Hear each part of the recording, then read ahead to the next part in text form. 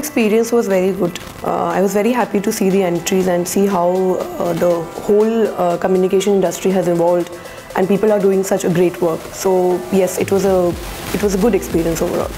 So I was uh, looking at uh, the uh, growth that they have added in the company that they are working in, what kind of different campaigns that they have done, and uh, what kind of uh, testimonials or what kind of feedback they were getting from the clients or from the industry. I just want them to keep doing good work, keep keep doing good work, keep working hard.